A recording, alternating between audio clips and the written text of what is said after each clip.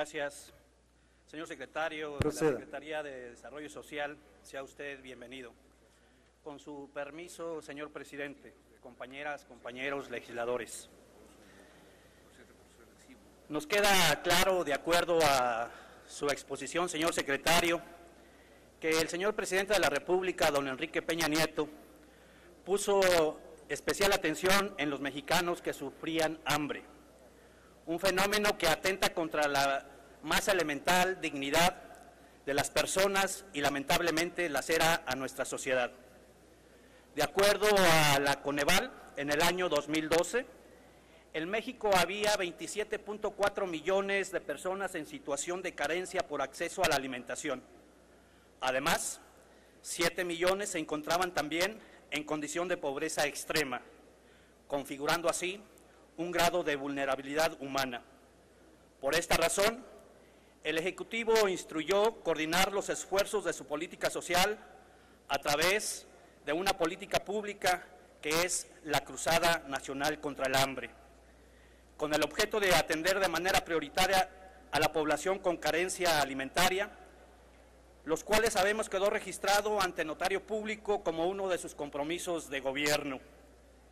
El arranque de esta estrategia despertó un enorme entusiasmo y compromiso de todos los actores, no solo porque atendía un sector de la población que precisaba de apoyos urgentes, sino por la metodología misma de la cruzada, que convocaba a la participación de las comunidades y generaba esquemas de coordinación inéditos entre los diferentes ámbitos y órdenes de gobierno. Desde el 2013, la Cruzada tuvo una gran centralidad en la política social del gobierno federal. Se firmaron acuerdos con los estados para su implementación y se convocó al sector empresarial y a la sociedad. Inclusive, la Cruzada fue reconocida por la FAO como una estrategia efectiva para abatir la inseguridad alimentaria y despertó el interés de los organismos internacionales y de otros países. Sin embargo, desde finales del 2015 pareciera que la cruzada contra el hambre desapareció. Entonces, a partir del 2016, se empezó a hablar de la Estrategia Nacional de Inclusión, refiriéndola inclusive en 2018 como la columna vertebral de la política social. En el documento rector de esta estrategia se señala que la misma tiene como propósito contribuir al acceso de los derechos sociales y a la disminución de carencias mediante una coordinación efectiva y eficiente de las políticas y programas que inciden sobre las condiciones de las vidas de las personas.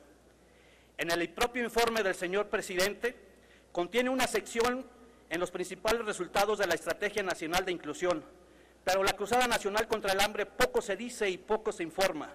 De hecho, no quedó claro cuál es la relación entre la Cruzada Nacional contra el Hambre y la Estrategia Nacional de Inclusión. En otro orden de ideas, señor presidente, si me permite, en otro orden, lamentablemente, en un tiempo para acá, las referencias de la cruzada también tienen y están asociadas a presuntos actos de Concluya, diputado. En función de lo anterior, señor secretario, ¿podría informarnos qué pasó con la Cruzada Nacional contra el Hambre? ¿Está vigente? ¿Cuáles han sido los resultados? ¿Tiene esta alguna relación con la Estrategia Nacional de Inclusión? diputado. Por su atención, muchas gracias. Es cuanto, señor presidente. Gracias, diputado. Tiene la palabra el señor secretario de Desarrollo Social.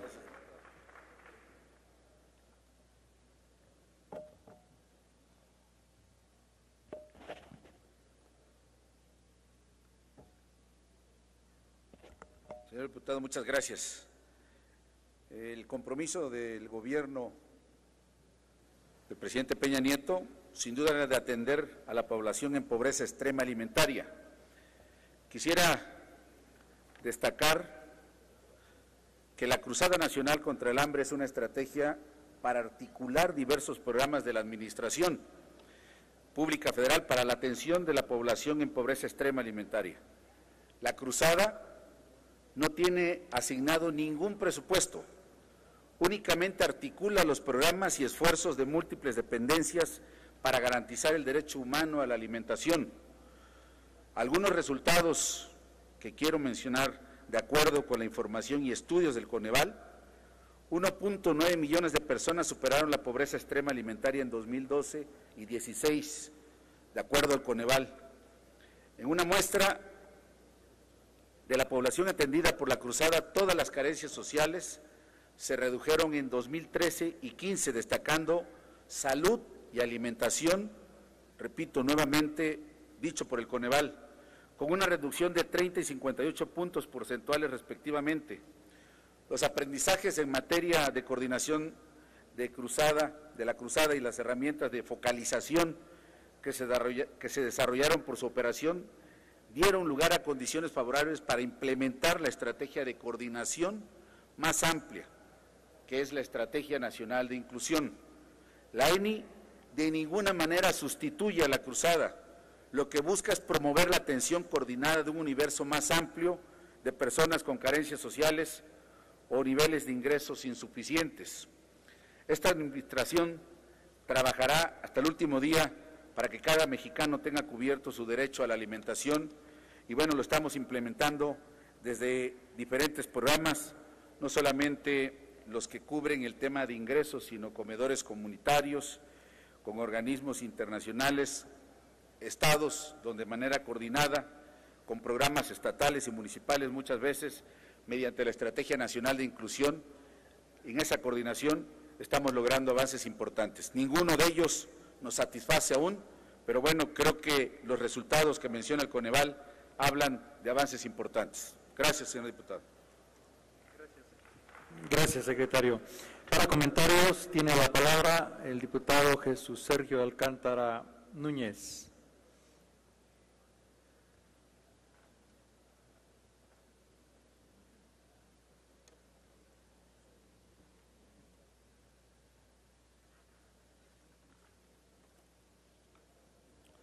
Muchas gracias, señor presidente. Adelante. Con su venia.